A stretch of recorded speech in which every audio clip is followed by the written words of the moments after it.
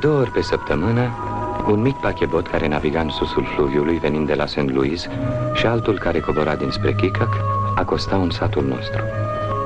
Înainte și după asemenea evenimente, acest colț de lume aflat pe malul vestic al fluviului Mississippi era pustiu. Au trecut ani și ani de atunci, dar tot mai am în fața ochilor priveliștea de odinioară.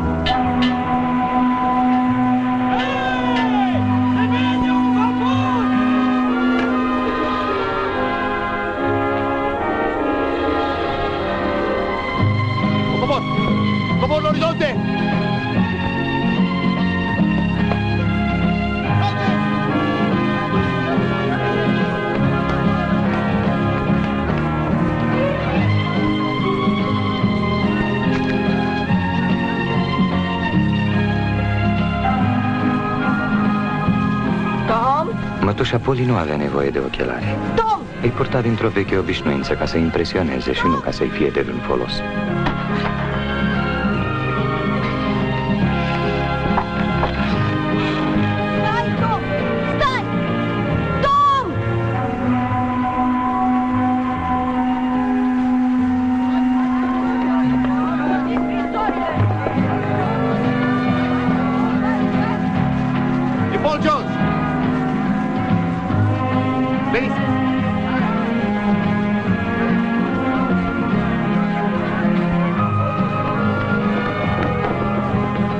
Paul Jones, destul de vechi și de șubred, fusese vopsit din nou și își reluase călătoriile după o absență îndelungată.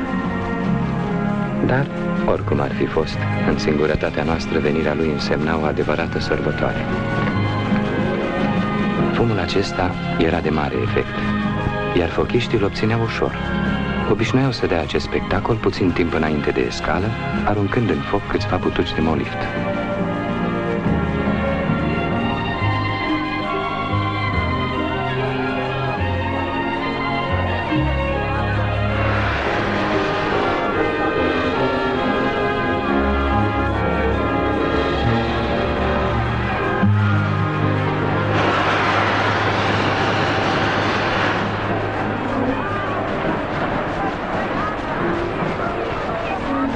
Noi băieții n-avem decât o singură dorință adevărată, aceea de a fi navigatori. Uneori ne-am hrănit cu iluzia că dacă suntem cuminți, Dumnezeu ne va îngădui să ne facem pirați. Dar visele se spulberau unul după altul. Doar visul de a fi navigatori nu ne părăsea niciodată.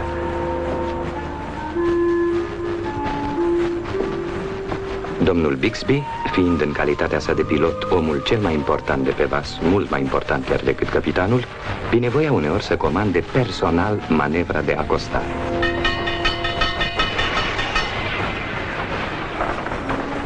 Împingeți pasarela! Toată lumea ochii la mine și o singură mișcare! Atenție! Încet jos! Înapoi! Înapoi, n-auziți? Unde dracu vă sunt urechile? Înainte! Amarați! Hei, v-ați hotărât! Înainte! Înapoi!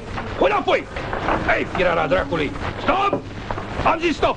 Ce vreți să o aruncați peste bord? Ia ascultă, măi, unde te duci cu putoiul ăsta? Te grăbești, ai? Porcitură de broască țesoasă și de globă șchioapă! Ei, drăcia dracului, ce s-a mai întâmplat?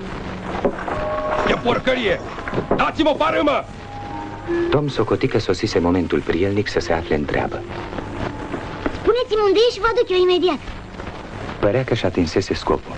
Era în centrul atenției generale și nu mai aștepta decât aplauzele mulțimii. Ei, asta e bună! Îți ia piuitul și mai multe nu! Hei, Williams, spune-i javrei de copil să se ducă la dracu!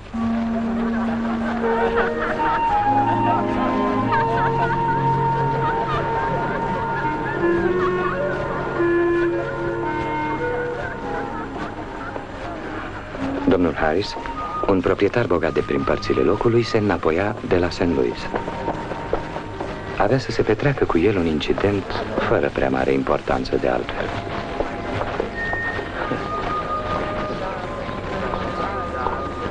Hello! Te salut, scumpul meu! Vă salut, stimați doamne! Hai grijă! Cum ați călătorit? Sper că foarte bine. Excelent! Bătrânul John plutește admirabil. Sper să ne mai vedem. E greșit. Bun, bun. Domnilor, zăresc acolo un om care a pretins în fața tribunalului că aș fi atacat curierul regional. Hm. Este un fapt inadmisibil. Cu atât mai mult cu cât nici nu-l cunosc pe acest individ.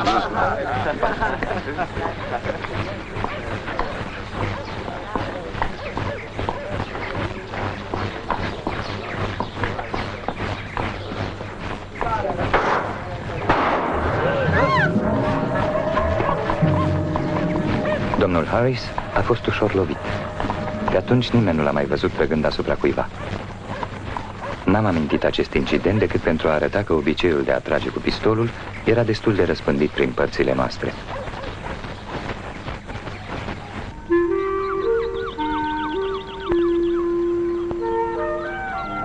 Hei, Hank, Hai, Tom, ce naiba faci? scuip. Ce bine de tine.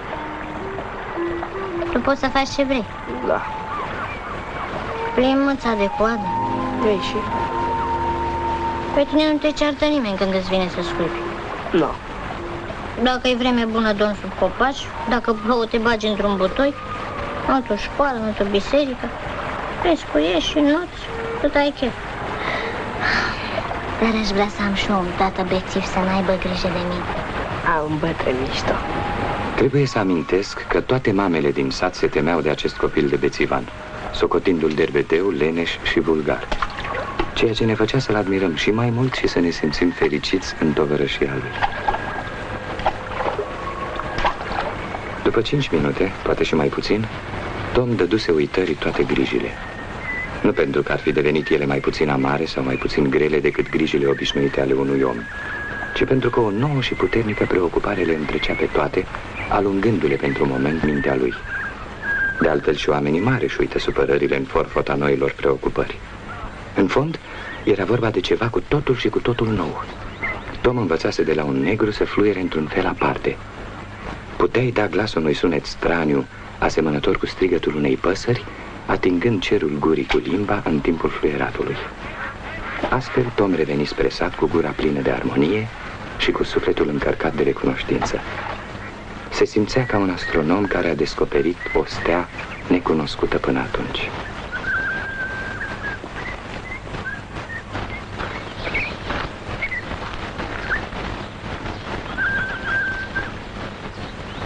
În această stare sufletească nu putea trece pe lângă un străin fără să-l bage în seamă. În plus, acest băiat purta haine de sărbătoare și în zi de lucru. Cum te cheamă? Ce-ți pasă? Hai, șterge. Am mai văzut eu grozav din ăștia. Aici e hotarul. Dacă faci un singur pas, jur pe cinstea mea că te bat mă. Uite, na. Dacă vrei să murdăresc mâinile cu tine, dă cu a doi cenți și sunt gata să te bat.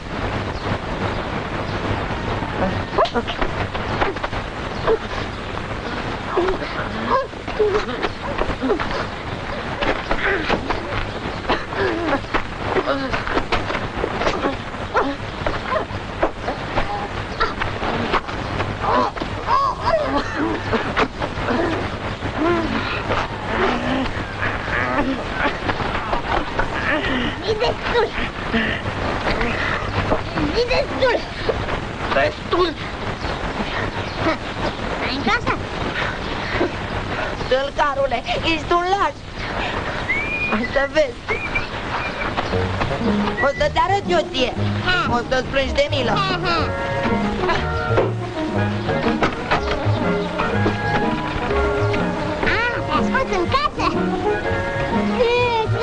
Ce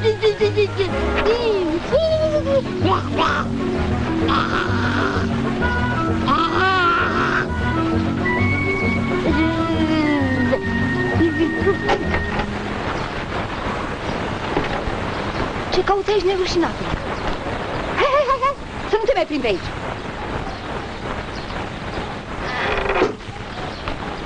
Las că ți arăt eu și ție.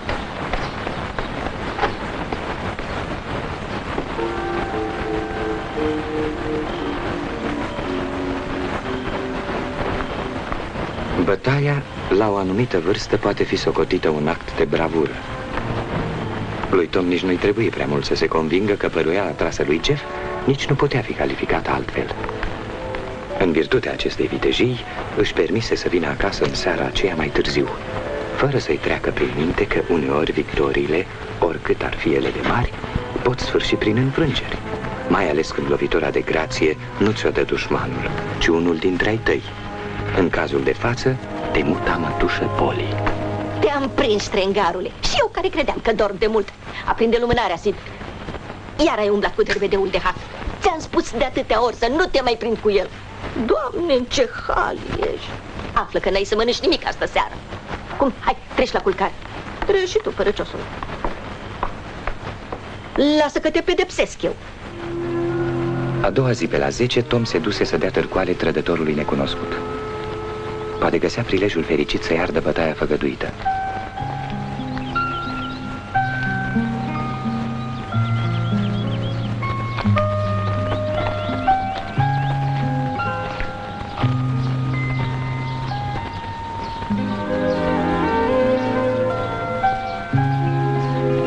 Și viteazul nostru a capitulat în fața surorii necunoscutului, fără să fi dat nici cea mai mică bătălie.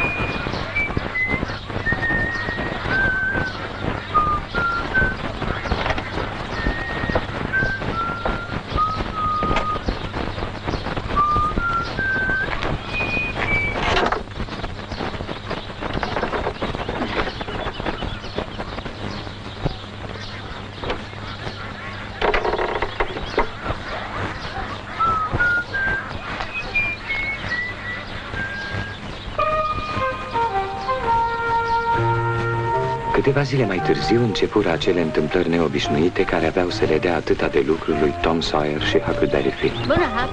Bună, Tom. Ce ascunzi sub haină? Hă? Un cotoi mort. Ia arată-mi. Oh, e deja țeapăn de unde l-ai? De la Ben Rogers. Și ce ai dat pe el? O coadă de porc. Da, dar pisica ne ajunge ca să ne vindecăm de neci. Fără un cadavru de om n-am făcut nimic. Bruce Williams bolește de ieri. Nu-și dă morai că pe la MAF 4. Ideea asta merită o braște. Muff Packer era tâmplarul satului și avea o tainică înțelegere cu moartea. De câte ori începea să facă un coșciug, se și găsea cine să-l folosească. Băieții nu mai dădeau doi bani pe viața lui Ross Williams.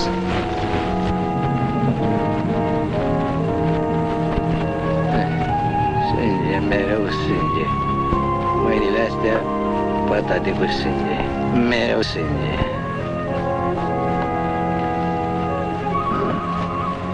Măi băieți, am un secret.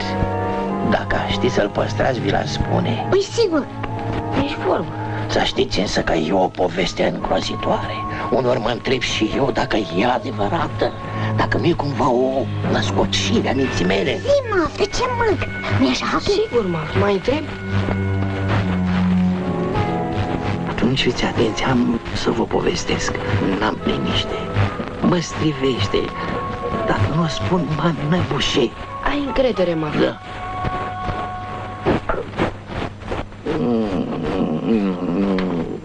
Mi-e foarte greu. Te rugăm, mă. Doar suntem prietenii tăi. Packer era bețiv, n-avea niciun ban în buzunar, încerca să se împrumute de la toți și mințea de înghețau apele. Copiii mei, Aveți în fața voastră un ucigaș. Eh, asta-i. Vedeți? De pe mâinile astea curge sânge. Priviți-le. Cu ele am ucis 32 de oameni. Ultima dată ai spus 40, Maf. Da, dar prea poate. Vezi, că erau atât de mulți încât nu mai ții minte prea bine câți erau. Sigur, sigur. Începea după obiceiul său cu primul asasinat.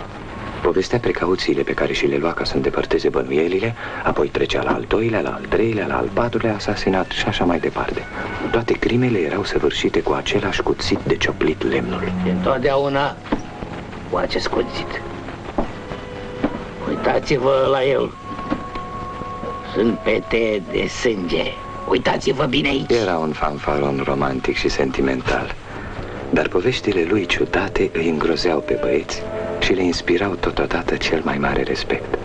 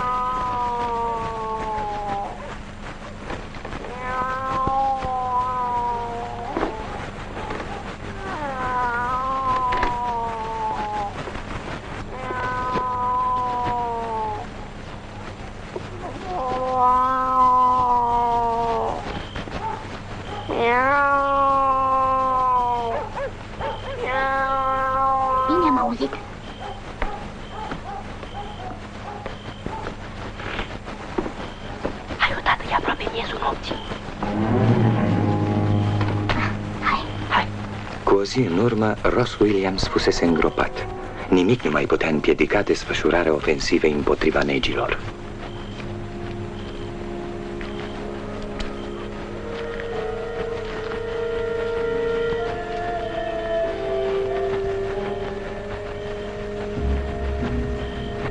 Superstiții stranii rămase de la sclavii negri dăinuiau prin părțile acelea uitate de lume.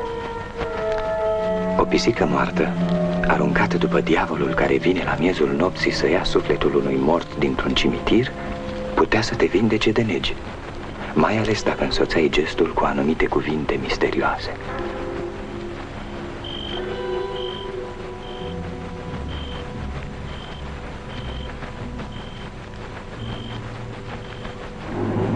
Uite aici. e.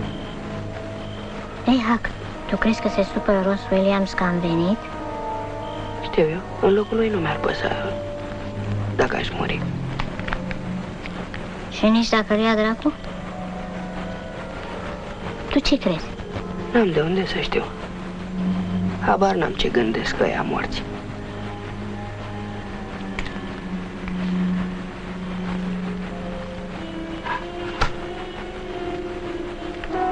Huck, și dacă nu sunt? Ce să fie? Ar fi păcat să nu existe strigoi și diavol. De ce? Mi-ar lipsi. Ai văzut vreunul?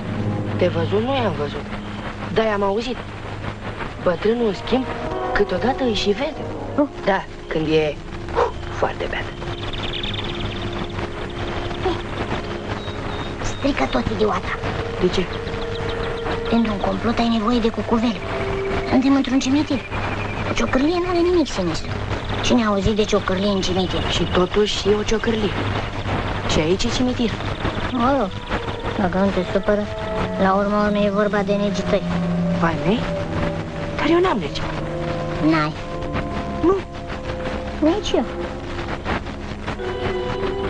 Atunci de ce am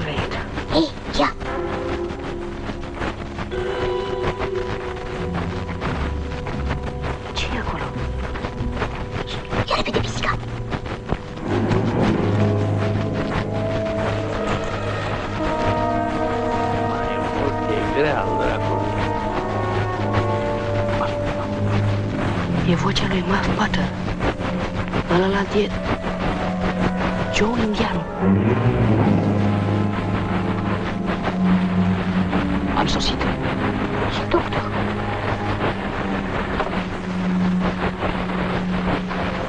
Haideți. Hai.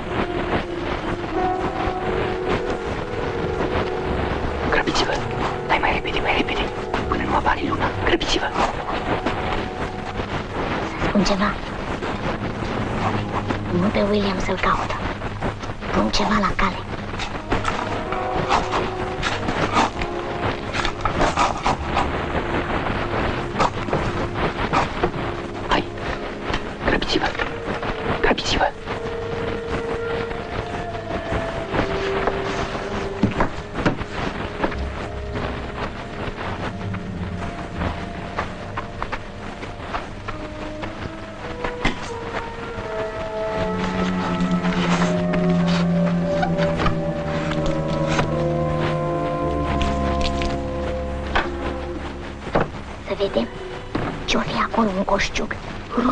Ross Williams, ce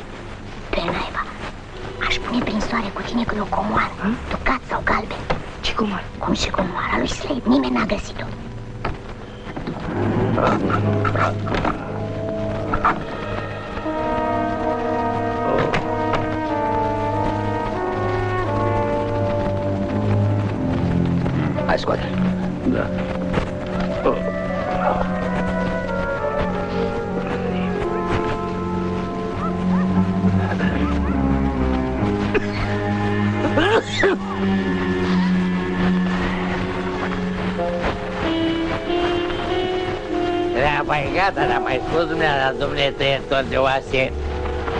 Încă 5 dolari altfel, oitul lui Williams rămâne aici. Exact. Ce înseamnă asta? Mi-ați cerut să vă plătesc înainte și v-am plătit. Pe vremuri tatăl tău m-a băgat la zdu pentru vagabondaj. Tu crezi că am uitat? E. Ce se aude cu micul supliment? Niciun ban mai mult decât ne-am înțeles acasă. Un bacșiș însă, dacă vrei, poftim. Pentru 5 dolari lovești tu pe cel mai bun prieten al meu, jefuitor de cadavre. Las că te învăț eu. Na! N-am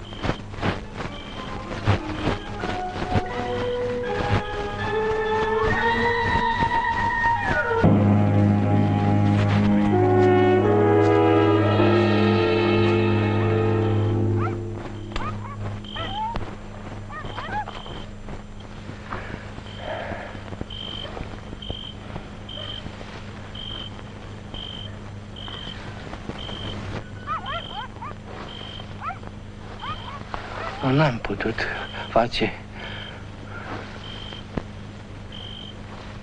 așa ceva. E mort.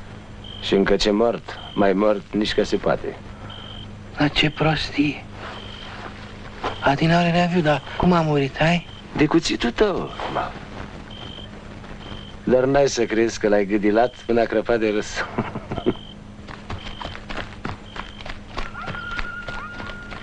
Vezi, o luăm pe lângă Berbison și intrăm în tăbăcărie. Bine, s-a făcut. Hai, Erai beat, Mav. Tu l-ai casapit. Cum? Am să tac din gură. Și acum șterge. O, Joe, te pot ca un frate, n-am să uit. Niciodată. Hai, nu mai niciodată. pierde vremea. Pe acolo. Da, Să nu te vadă cineva. Mișcă! da, da, da.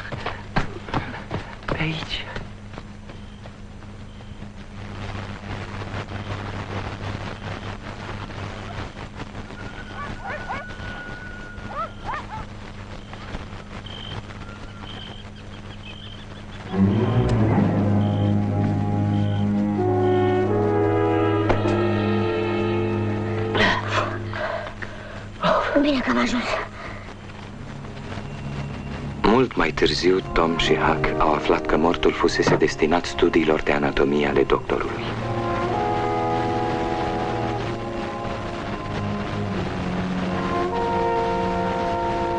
Hake, ce crezi că o să se întâmple cu toată povestea aia din cimitir? Dacă doctorul e mort, iese cu spânzurătoare. Asta numai dacă îl prind pe criminal. Cum vrei să-l prindă dacă noi nu o să vorbim? Spui tu ceva? Eu? Oh, nu. Ce mai drept, fraier. Închipuiesc că Joe Indianu scapă de spânzurătoare. O să ne facă pilav. Știi că ai dreptate? De ce mormânt?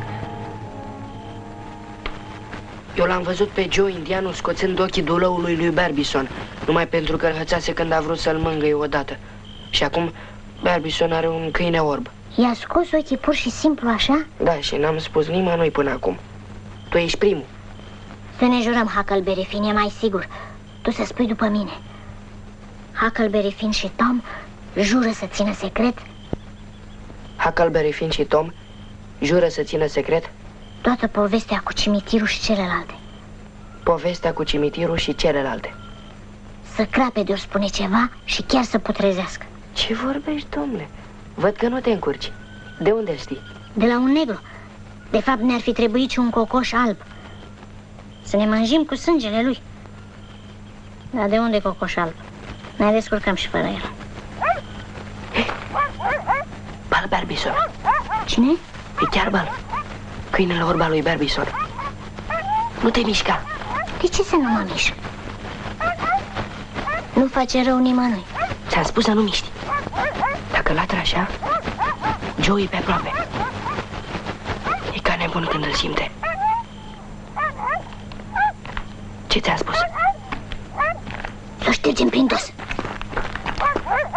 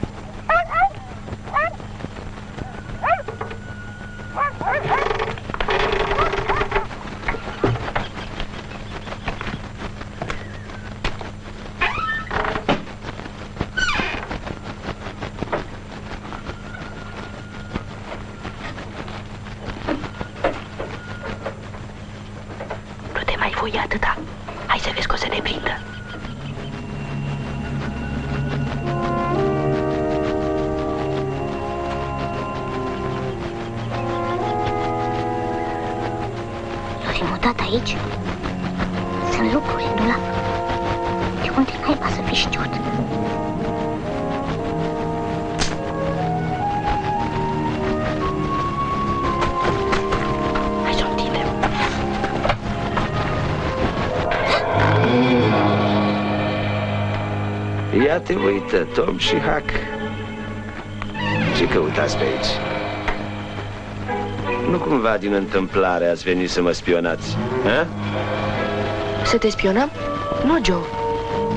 Noi căutăm o lampă ruginită, de aramă. Uite, el e martor. O lampă pe care nu dă nimeni o parachioară. Lampa lui Aladin. Umflată la mijloc cu abajurul spart și atunci ne-am gândit că poate e aici. O lampă atât de nenorocită nici nu poate fi în altă parte. Și ce vreți să faceți cu ea acum? Să o frecăm, Joe. Cu o cârpă, cu mânecă hainei, cu orice. Important e să o frecăm. Se înțelege că va fi greu, dar altfel ar fi păcat de trudă. O să frecăm ca niște boi. nu e așa, Tom? Da, o să frecăm ca niște boi. La naiba! Valea! Ei, ia ascultați! Dacă mâine dimineață auziți că îi lipsesc cuiva doi pui de găină, țineți-vă priscul. E mai bine să nu știți nimic de ei. Ar fi mai bine pentru voi. Limpede?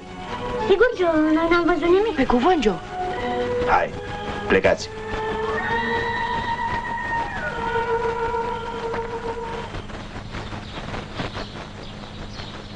Toată noaptea așteptase Tom să se întâmple ceva. Măcar un trăsnet care să-i dea de înțeles că puterea divină știe totul și nu iartă. Dacă semnul acesta se ivea, ar fi jurat că viața lui de aici încolo va fi curată ca a unui înger. Dar nepăsarea puterii cerești care începea această nouă zi, ca și cum nimic nu s-ar fi întâmplat cu o noapte în urmă, îl făcu nepăsător și pe el. Orice jurământ de îndreptare, părându-i se înjositor.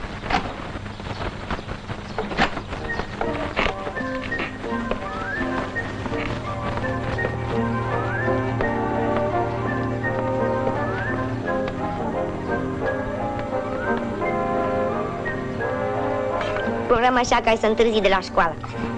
Ce? Azi e zi de școală? Nu face pe prostul, Tom. Hai, du-te și te spală. Hai, du-te odată.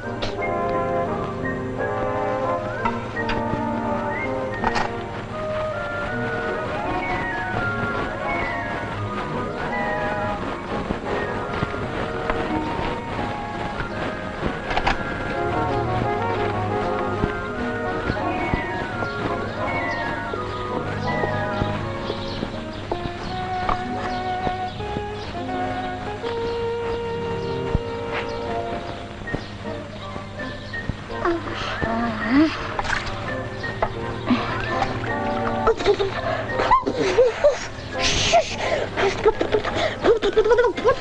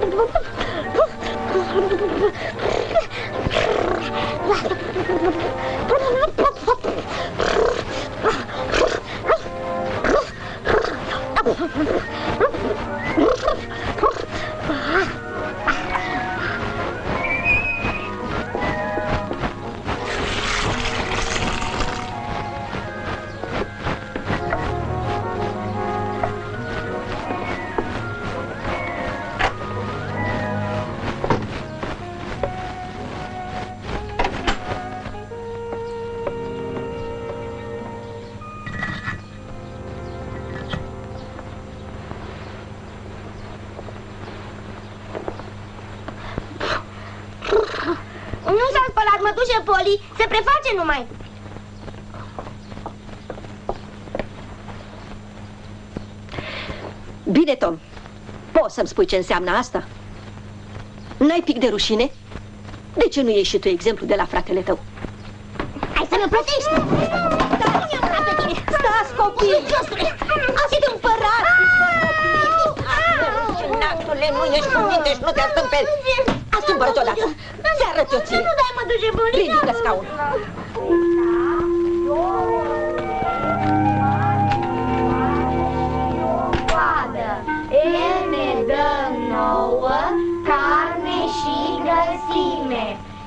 El trăiește pe lângă casa omului. Porcul este un animal domestic. El are cap, două urechi, patru picioare și o coadă. El ne dă nouă carne și grăsime. El trăiește pe lângă Thomas Sawyer. Tom știa ce o să urmeze. Când i se rostea numele pe un ton atât de solemn, nu era bună. Bună ziua! Bună ziua! O să zic că iar ai întârziat. E felul dumitale de a fi punctual. Sunt gata să ascult ce scuză mai inventezi și pentru ziua de astăzi. Hm? E bine, domnule, azi nu te simți în formă? N-ai găsit nicio scuză? Tocmai când se pregătea să îndruge o minciună, Tom zări două fundițe colorate. Aștept. Cu perspicacitatea omului îndrăgostit, își dădu imediat seama ale cui erau. Și încă ceva. Alături de posesoarea fundițelor se găsea singurul loc liber din clasă pe partea fetelor. Am avut ceva de vorbit cu prietenul meu, Huck Finn. Am avut un lucru important de hotărât. Domnul Dubbins rămase încremenit. Huck se bucura de faima celui mai mare derbedel din sat.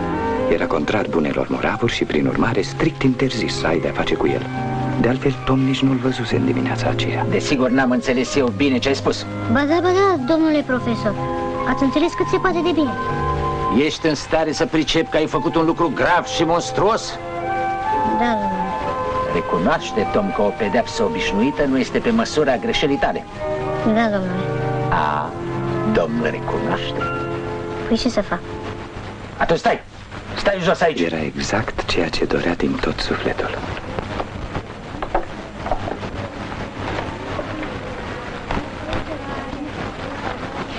Zumzetul celor care citeau, somnul domnului Dubbins, erau semne pentru Tom că scăpase atenției generale.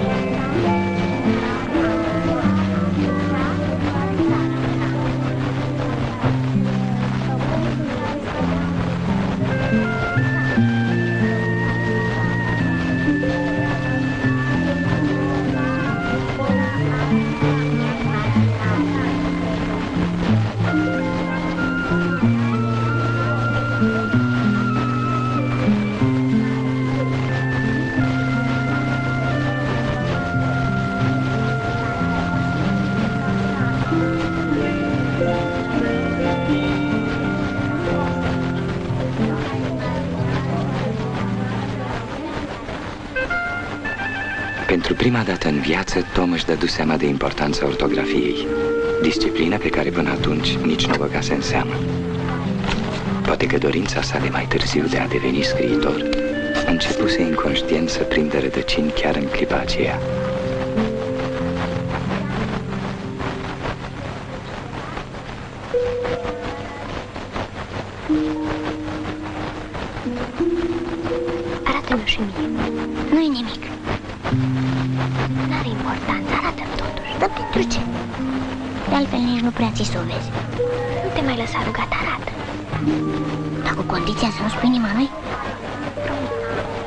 Juri? Mută până la mormânt?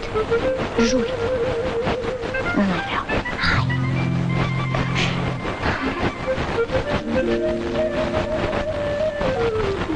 Ești îngrozitor. Sunt. Celebrul tirbușon al domnului Dubbins intrase în funcțiune.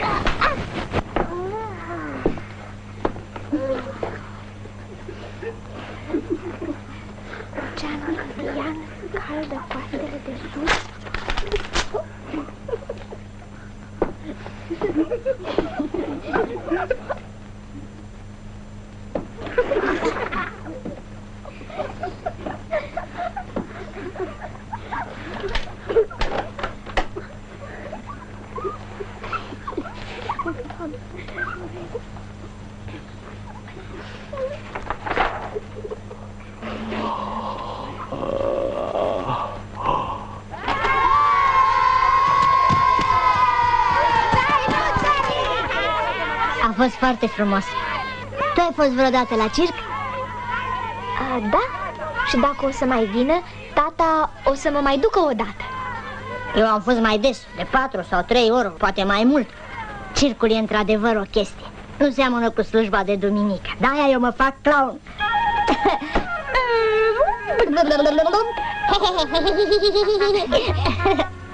Sunt sigură că ai să fii un clown foarte bun. Câștigă foarte mulți bani. Un dolar pe zi, zice Ben Rogers. Tu, tu ai fost logodită? Nu, Și vrei? te știu și eu cum o fi. E simplu. Ajunge să spui că vrei să rămâi cu cineva toată viața, îi dai o sărutare și gata. Vezi, nu e greu deloc. O sărutare? Dar de ce? E un obicei, toți fac la fel. Ți-amintești ce ți-am scris pe caiet?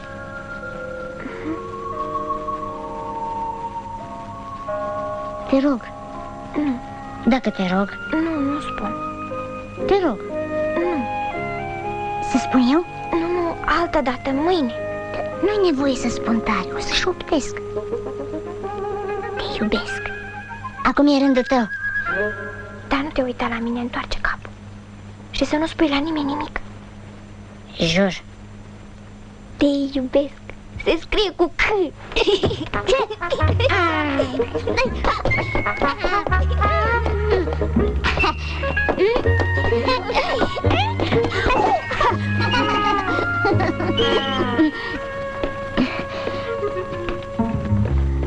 Vezi, Becky, a mers. Încă un pic de curaj. Sărută-mă. Hai, vrei? Eu nimica toată. Hai, Becky.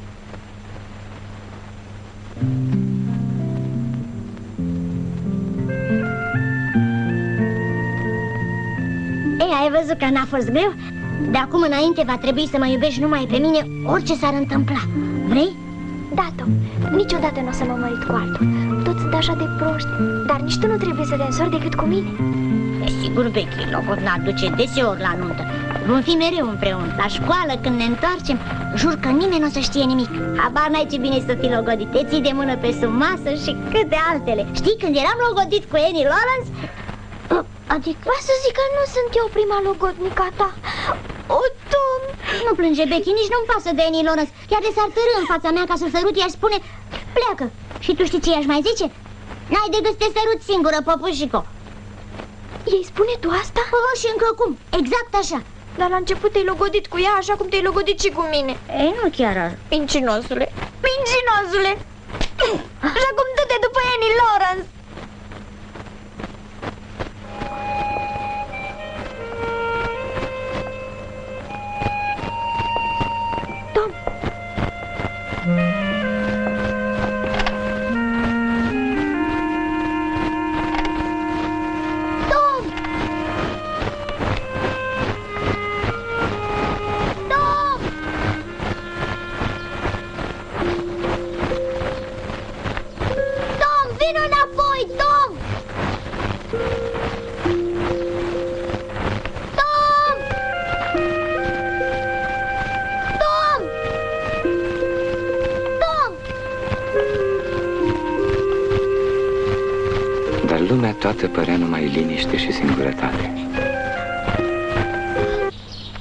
Hotărârea să nu se mai întoarcă la școală în după amiaza aceea.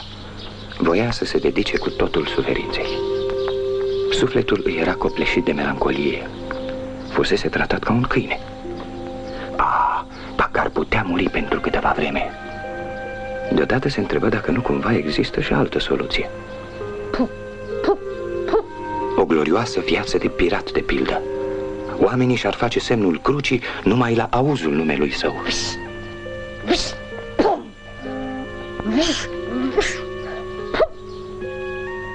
Da, asta e. Viitorul îi se înfățișează în toată splendoarea lui. Se și vede revenind în satul natal între două strălucite expediții piraterești.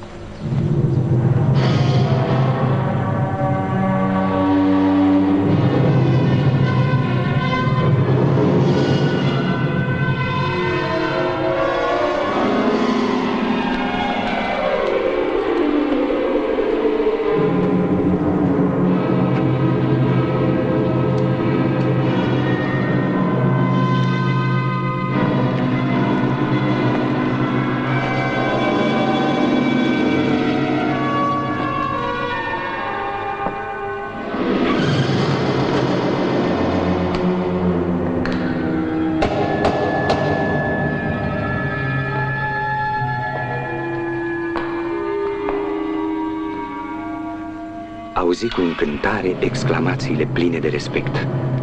E Tom Sawyer, piratul, răzbunătorul negru din Marea Antilelor.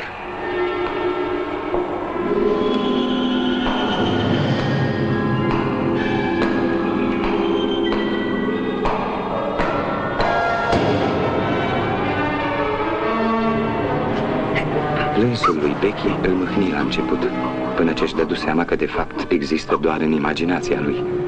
Își dorea ca acest plâns să fie aevea, dar pentru asta și viața lui de pirat trebuia să înceapă cât mai curând.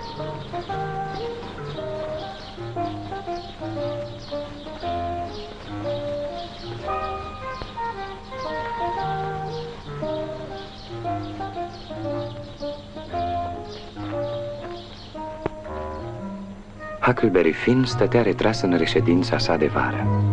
Își făcea siesta înainte de a-și continua inactivitatea zilnică. Hac! Hac! Hac!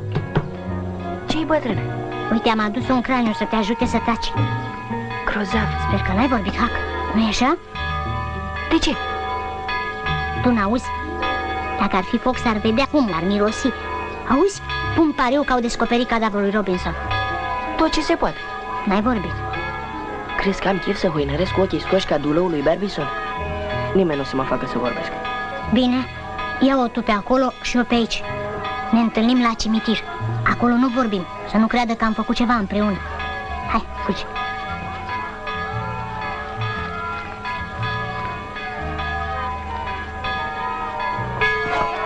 Înspăimântați de groaznica veste, toți cei care puteau umbla s-au strâns în piață. John Brown și Joshua Baden erau cei mai vașnici apărători ai dreptății. Mărșăvia lui Parker i-a indignat în asemenea măsură, încât s-au îmbătat criță.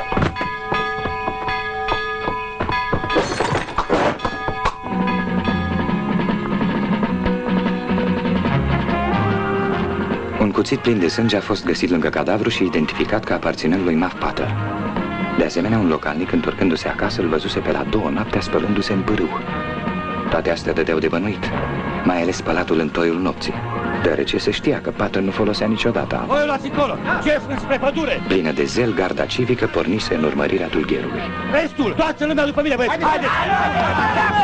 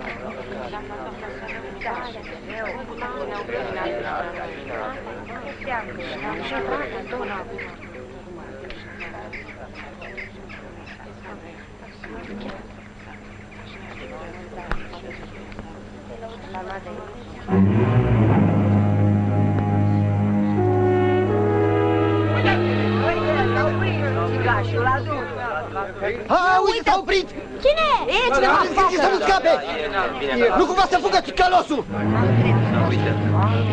Muff Potter venise singur de bunăvoie, dar șeriful se purta ca și cum el l-ar fi descoperit cu formidabilul său flair polițist. Nu m-am atins în viața mea de nimeni. Jur pe orice. Cuțitul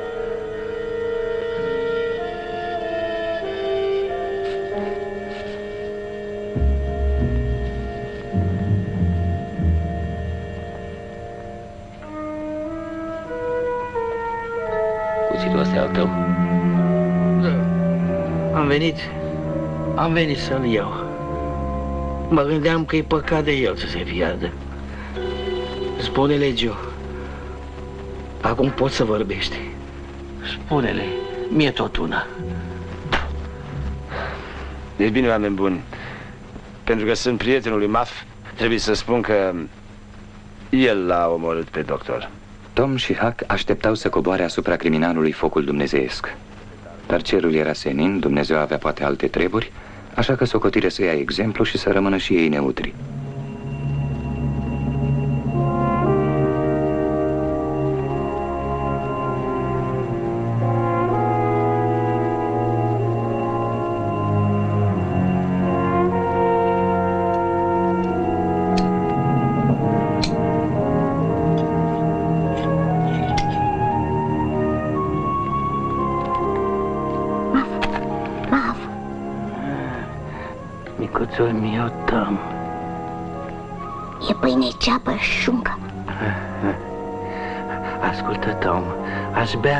Bea încă de șnaps.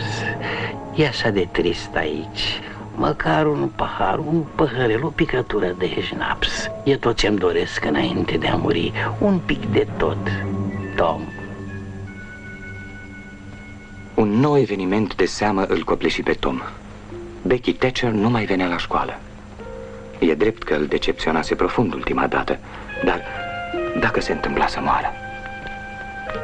Faptul că nu avea decât un simplu guturai nu schimba cu nimic măreția tragică a propriei sale suferințe.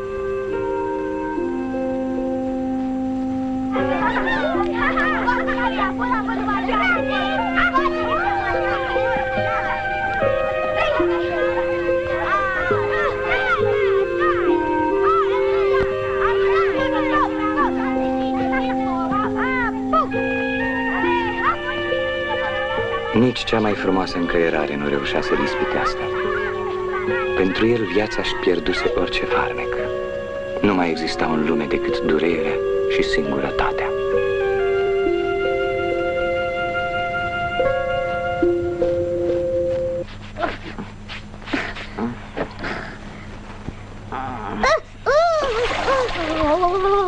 Protestă în mod deosebit la acest tratament hidroterapeutic pe care mătușa Poli îl aplica din când în când cu o râvnă exagerată. Așa în băiat era în orice caz mai civilizat să te îmbolnăvești. Drept care Tom se îmbolnăvi. Sufletește, bineînțeles, dar trupul ascultător se luă după suflet. Niciunul din sfaturile descoperite de mătușa Poli în revistele ei de medicină familială nu era în stare să-l vindece. Nici dușurile reci, nici cele calde, nici compresele cu mărar, nici cele cu apă de bălegar fiert, nici mușețelul. Nimic, absolut nimic nu se potrivea cu boala lui.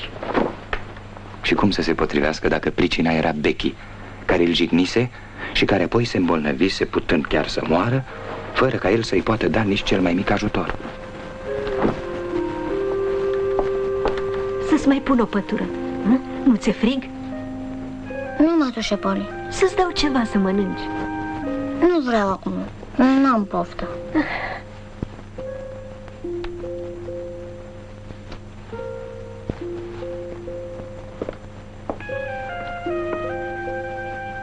Nici chiar faimoasa doctorie moartea bolilor, un leac miraculos cu gust de foc sub formă lichidă, firește, nu i-a fost de niciun folos.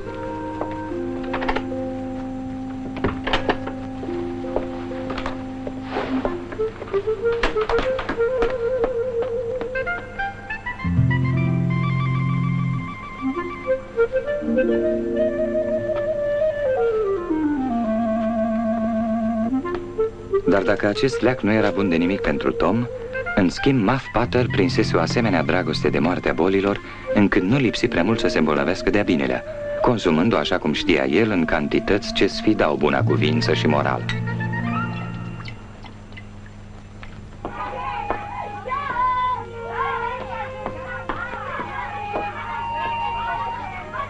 Trecuseră câteva zile de când Becky Thatcher lipsea de la școală. Ca un naufragiat purtat de valuri pe marea pustie, Tom trecea pe răboș zilele tristei sale singurătăți. Dar iată că o fată se apropie cu pasul legănat.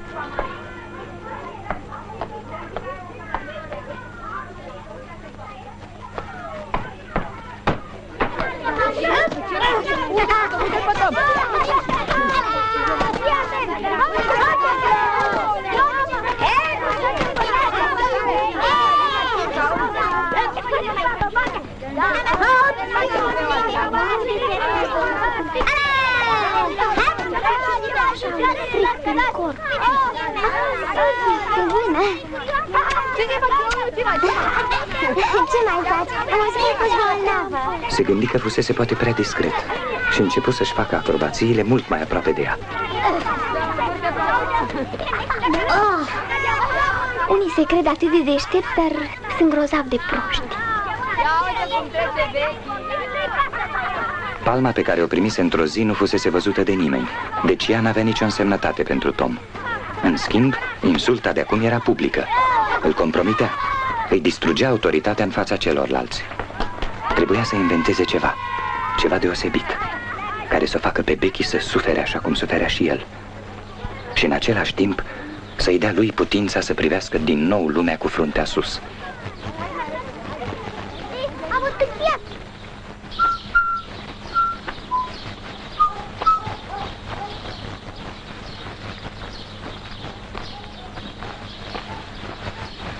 Văzând calul lui Joe indianul în fața cafenelei la gentlemanul obosit, îl socoti drept un semn al destinului.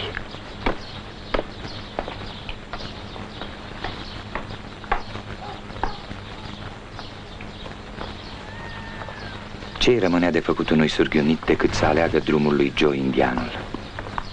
Izbutiseră să-l împingă pe calea crimei.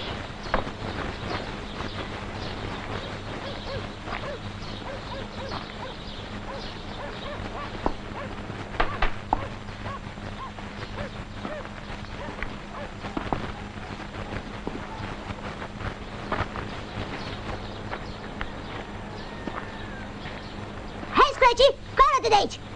N-auzi, hei! Pac, pac, pac, pac! Gata, ești mort, Scratchy? Neața, Tom. Tu ai vrut-o! Pam, pam, pam, pam, pam, pam, pam, pam, pam, pam. 24 de împușcături în cap sau poate chiar în piept. Ce-mi pasă? Are importanță. Hei, ce te-ai apucat, Tom? Ai încercat să mă atași pe la spate ca un șarpe, ca o reptilă, ca o fiară. Lași ce ești! Stai că trag ligioană, niciun pas mai mult. Clipa răzbunării a venit. Și vezi? Am revolverele încărcate. Lasă prostiile, mai bine uită-te.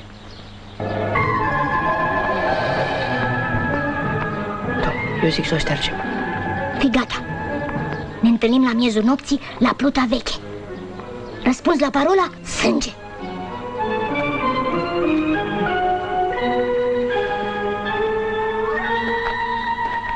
La trei mile mai jos de sat se afla o insulă lungă și îngustă, acoperită cu pomi, care îi se spunea insula Jackson. La miezul nopții chiar, cei doi băieți, unul marinar și altul capitan, Tom fiind bineînțeles comandantul, se îndreptară spre ea. Era un loc bine ales și pentru a scăpa de Joe indianul și pentru a o da uitării pe Becky, al cărui nume din demnitate de pirat nici măcar nu voia să-l mai rostească.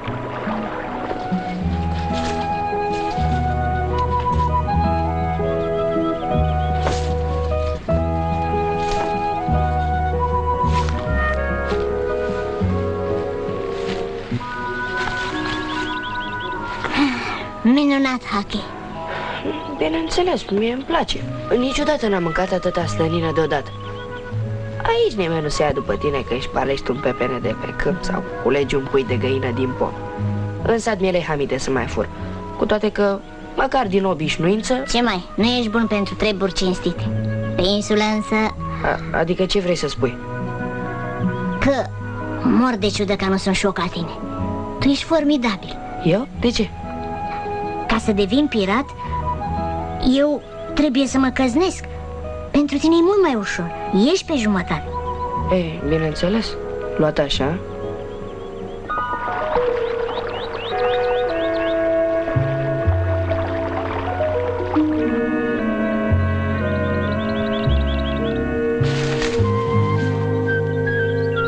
Dimineața, Tom descoperi miracolul de fiecare zi al naturii care se trezește și se apucă de treabă.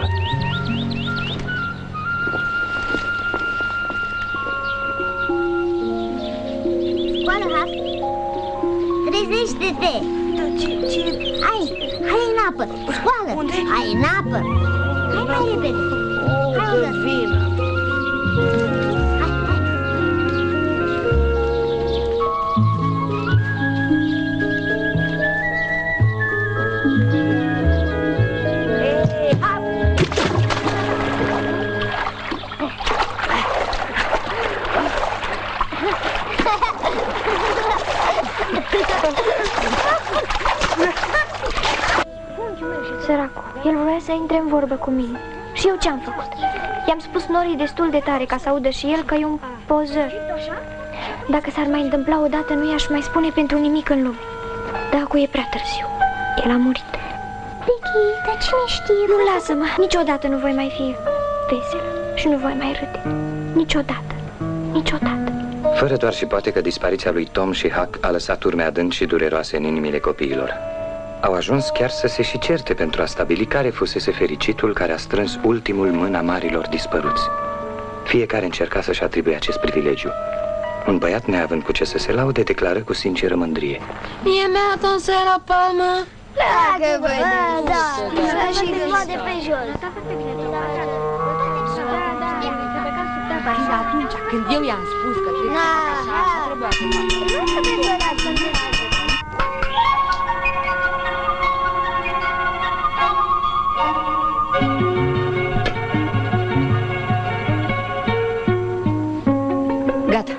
S-a făcut. Întâi ouăle și pe urmă pești. Dacă nu ne ajunge, prind eu alții. Niciunul din ei nu ducea dorul satului. Pluta fusese luată de apă, dar acest incident i-a bucurat. Ultima punte de legătură cu lumea din afară era tăiată.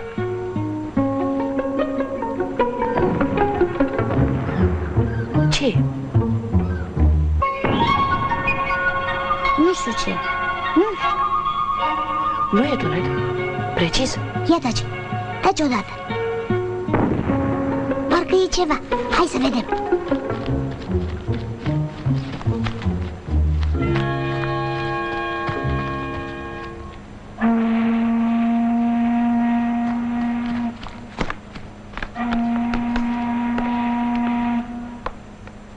Știu, un necat asta caută.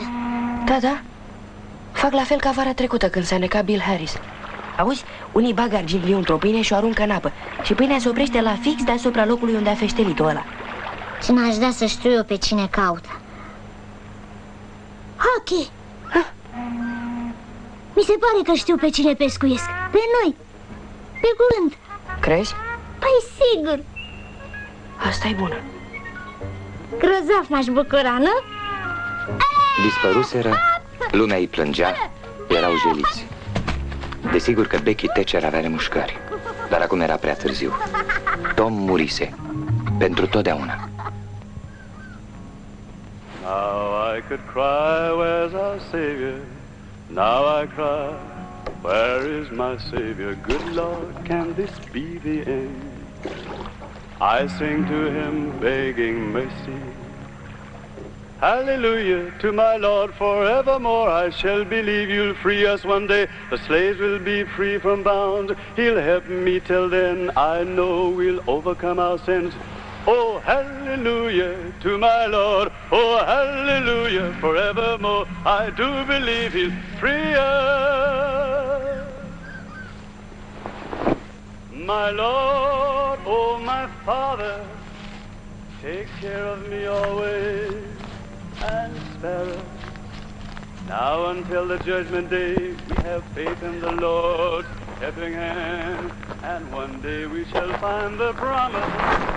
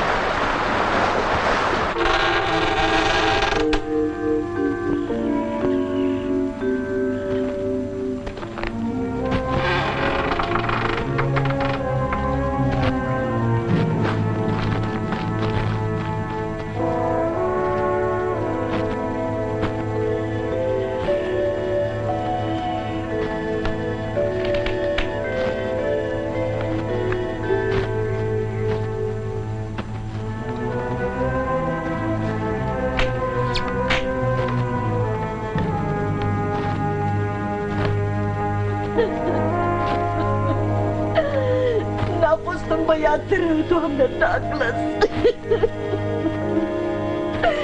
De fapt, ca să spun adevărul, nu era pe lumea asta băiat mai bun decât el. N-ai de ce să plângi, mătușe Poli. Se ținea numai de prostii. Și de câte ori nu ți-a scăpat el printre degete, aș putea să-ți povestesc multe. Sid, cum poți să vorbești așa acum când nu mai este în viață? Ce și eu așa? Nu vreau să-l părăs, crede-mă. Dragul meu, Domnul va judeca faptele lui și pe cele bune și pe cele rele.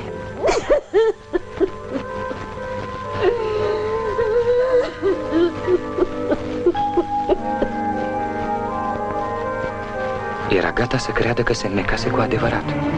În timp ce mădușa Polly și văduva Douglas hotărau pentru duminica ce avea să urmeze slujba de înmormântare.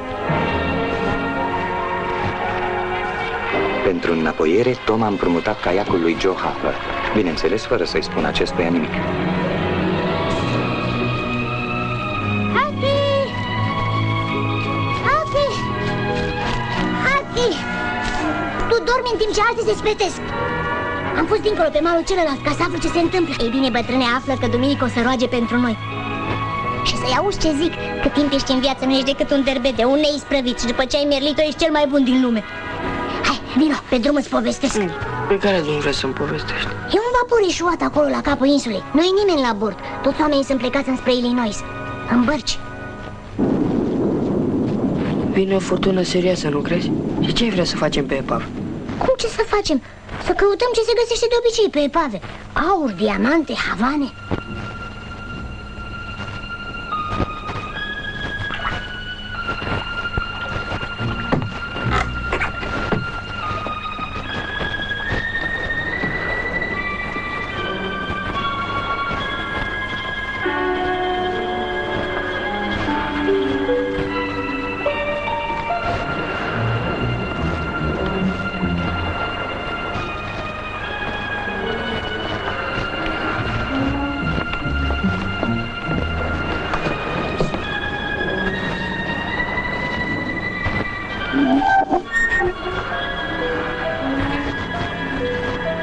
Adevăratele că nu-i nimeni aici?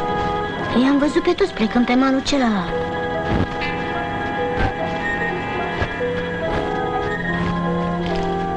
E încă bună. Să fi fost a mea, nu o lăsam aici.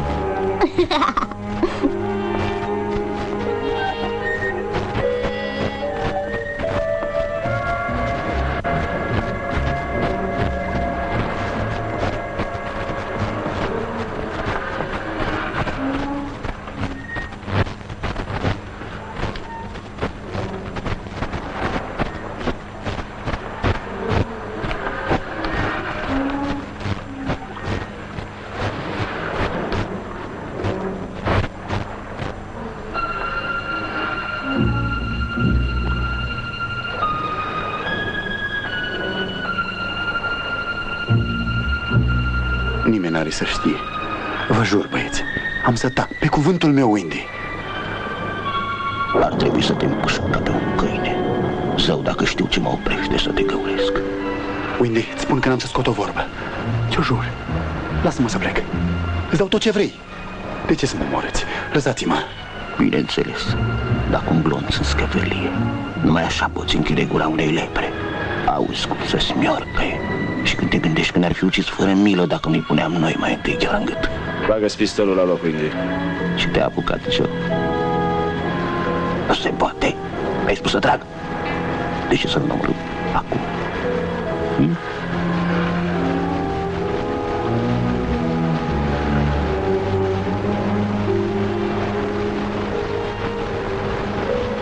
Nu vreau să-l omor acum.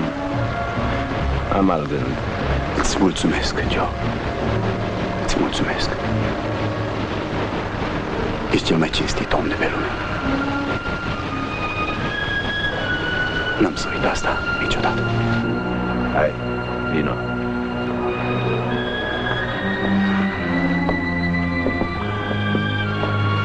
Răzbunarea mea va fi cu mult mai cumplită. Joe,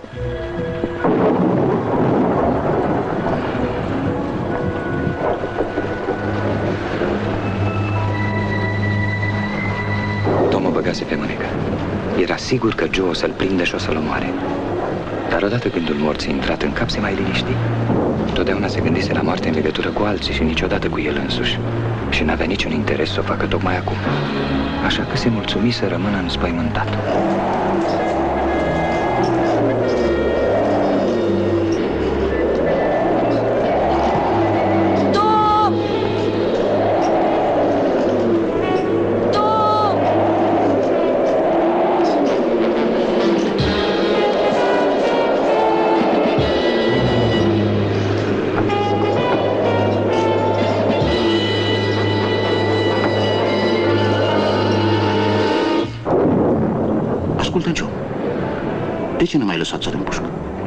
Termină odată.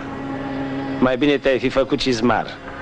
În afară de găuri, nu mai știi să faci altceva nimic. Dar ce dracu trebuia să-ți murdărești labele cu el? Ha?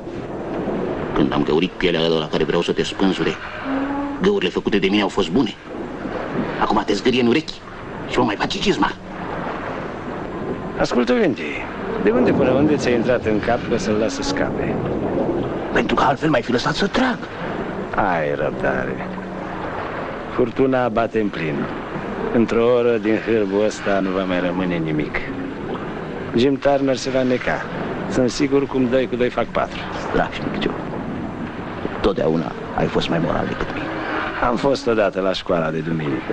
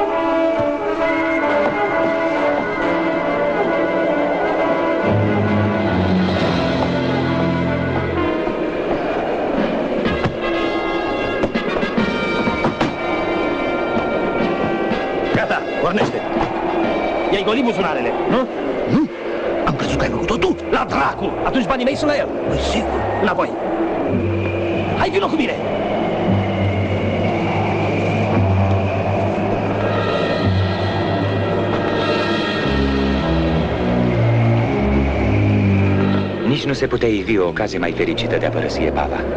Mai ales că de-abia în clipa aceea își dăduseră seama că luntrea lor fusese luată de valuri. Și apoi, Tom hotărâse că era cu mult mai înțelept să ajungă ei cu bine la țărm și să se înnece bandiții.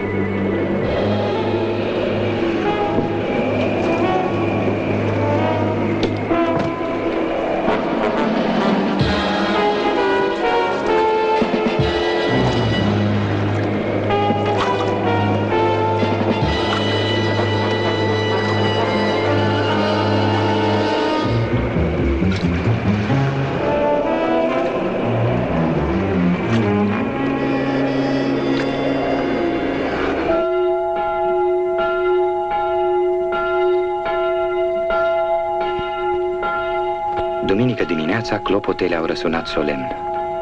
Era dangătul funebru pentru Tom Sawyer și Huckleberry Finn.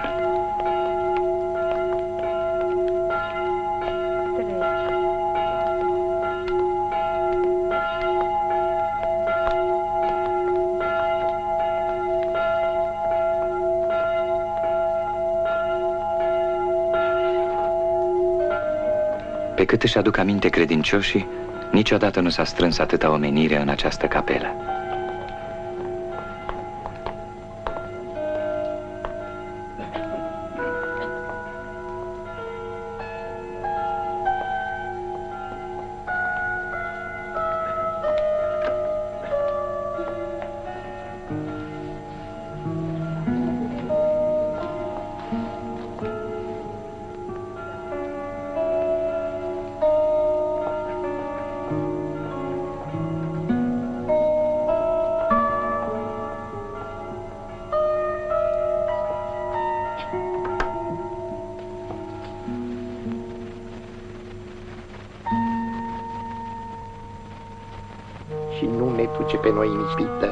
Izbăvește cel viclean.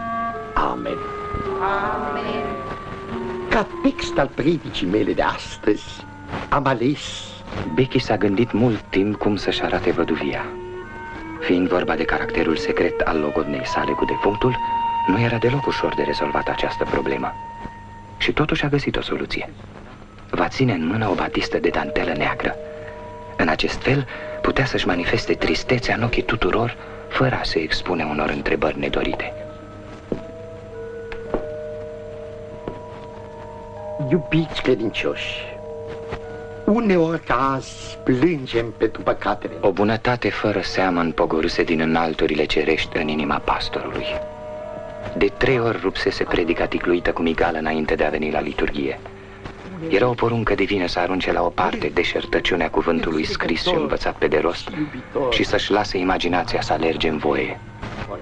Și, într-adevăr, niciodată pastorul în cariera lui îndelungată nu culesese atâtea suspine și lacrimi cu greu ținute în frâu. Micile obrăznicii ale celor doi erau privite acum ca semne de bună purtare, uitând cu toții că numai cu câteva zile în urmă erau socotiți niște terbedei. Nu lipsea mult ca fiecare dintre cei adunați în capelă să rămână pentru totdeauna cu credința că satul pierduse tot ce avea mai bun și mai nobil. Da, dragii mei credincioși, Firește, nimănui nu-i trecea prin cap că la ușa capelei, cei doi mari dispăruți ascultau fără să-și creadă urechilor propriul lor prohod. Tom,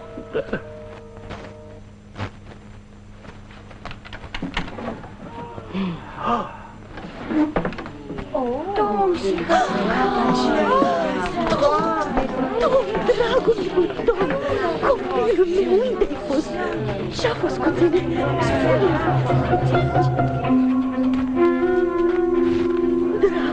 Păi ce numai pe mine? Și Huck? Păi și el și Huck s-a necat la fel ca și mine Domnul Dumnezeu a ascultat rugămințile noastre.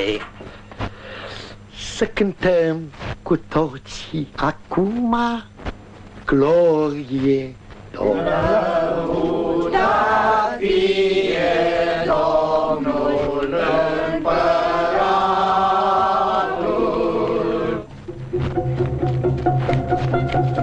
Era prea mult pentru Huck. În primul rând, sărutările îl scoteau din sărite. În al doilea rând, niciodată nu-și închipuise că există cineva pe lume care să regrete dispariția lui. Duminica memorabilă trecuse. A început pentru Tom o nouă săptămână. Era convins că noi datorii îl așteaptă și prima datorie a unui înviat era aceea de a fi demn.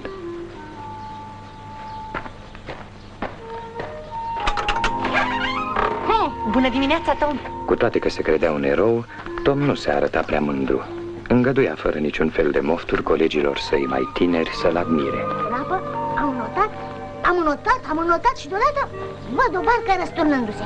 Ea are cap, două coarne, patru picioare și o coadă.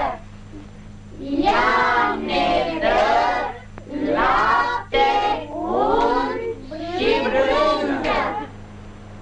Vaca este Un singur lucru nu uitase Tom din toate întâmplările petrecute înainte de a muri. Jignirea precinuită de Becky. Motiv suficient de întemeiat pentru a trece pe lângă ea fără măcar să o privească. De altfel era hotărât să trăiască de acum înainte singur și să se consacre în întregime gloriei sale.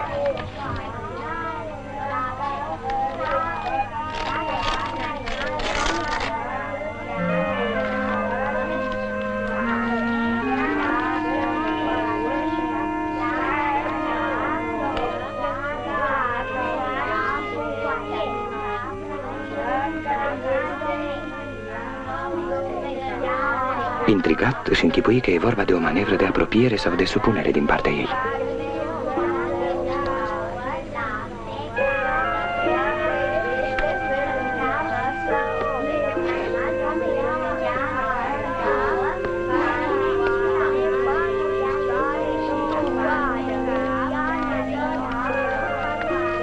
Ceea ce citi acolo a vâns asupra lui efectul unei lovituri de măciucă. Nu mă duc la masă. Să vii în același loc ca alaltăieri. În niciun caz acest mesaj nu putea să-i fie adresat lui. Alaltăieri el mai era înnecat. Tom își ieși din fire. Cine să fie?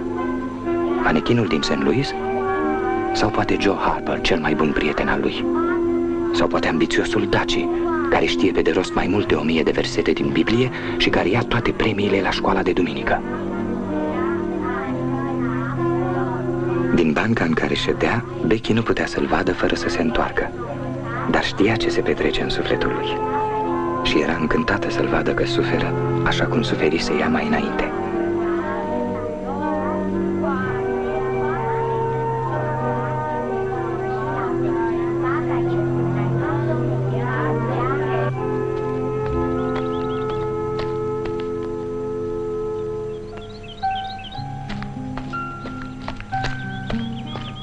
Credeți cumva că i-a fost ușor lui Tom să o aștepte pe Becky după lecții câteva ceasuri întregi în locul unde de obicei se întâlnesc toți îndrăgostiții?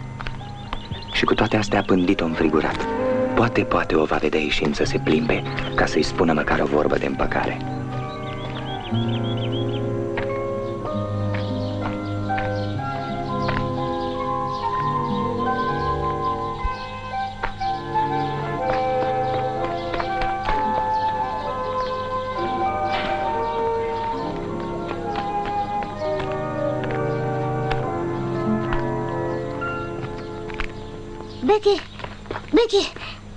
Azi m-am purtat urât cu tine și îmi pare rău. Niciodată nu o să mai fac așa. Niciodată. Nu te obosi, Tom Sawyer. Totul între noi s-a sfârșit. Da, păi atunci n-ai decât să-ți păstrezi pe Joe Harper sau pe Daci sau pe manechinul tău de la San Luis. Puțin îmi pasă. Și când ei o să nece, n-ai decât să-ți pescuiești pe cine vrei. Eu de acum încolo nu mai exist pentru tine.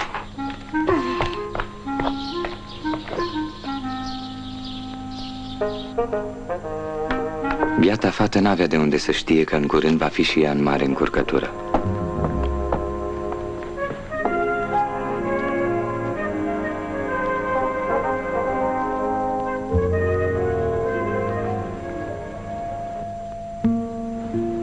Tentația era mare și vă veți da seama de ce. Profesorul Dubbins ajunsese la o vârstă respectabilă fără a-și realiza ambițiile.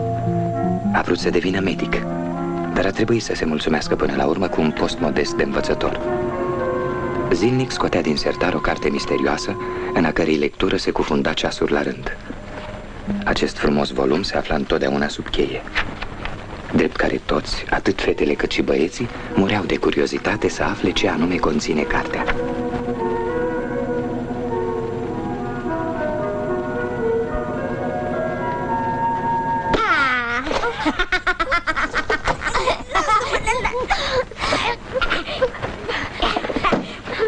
Oh, ce-ai făcut? Ce-ai făcut? O zăpățești, o zăpățești, o să vezi tu Dobins o să afle că tu ai rupt cartea Deci aș fi crezut asta despre tine? M-ai spionat, ești un spion, o lepădătură. De unde să întreagă mie privinte la ce te uiți? Și încă la un bărbat. Tu ești, tu ești, tu ești El este, noi suntem. Voi sunteți, ei sunt. Niciodată, niciodată n-aș fi crezut asta despre tine. Niciodată. Noi suntem, ei sunt, voi sunteți, ei sunt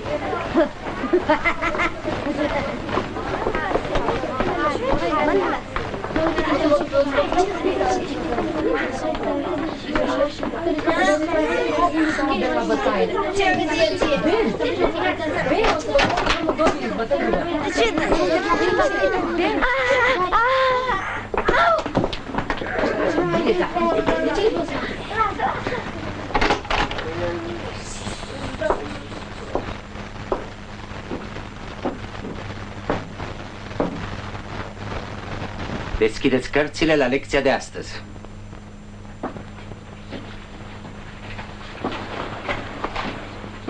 Toată lumea citește cu glas tare.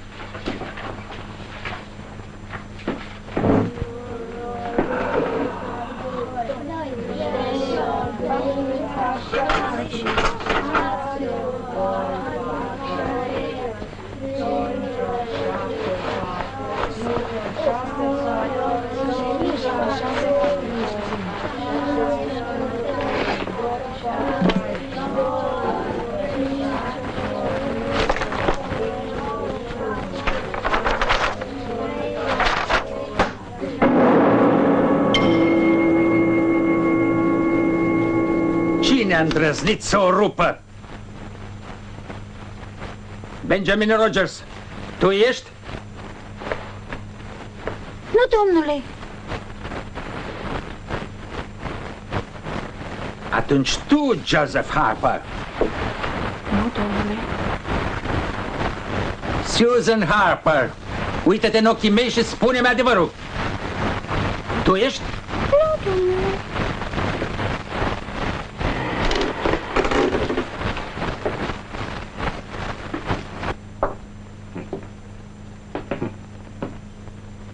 Atunci, bineînțeles că nimeni nu-i vinovat.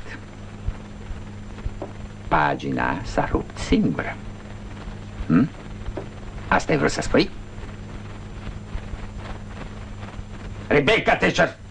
În acea clipă Tom și-a dat seama că e dator să uite cearta dintre ei. Eu am rupt-o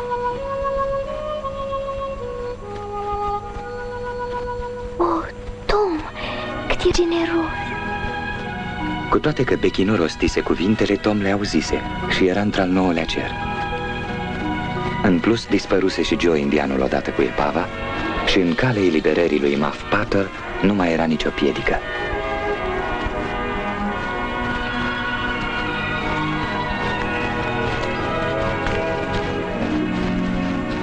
Nu se putea ca Becky să-l lase pe generosul ei Tom nerăsplătit după o faptă atât de cavalerească. Iar bucuria împăcării o făcut pe Becky să treacă cu vederea spaima de o clipă pricinuită de un șoarece luat de Tom drept altceva.